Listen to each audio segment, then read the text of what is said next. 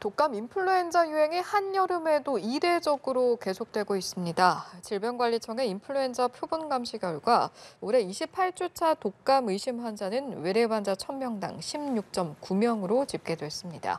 독감 유행 기준인 4.9명을 크게 웃돌며 4주 넘게 증가세가 이어지고 있습니다.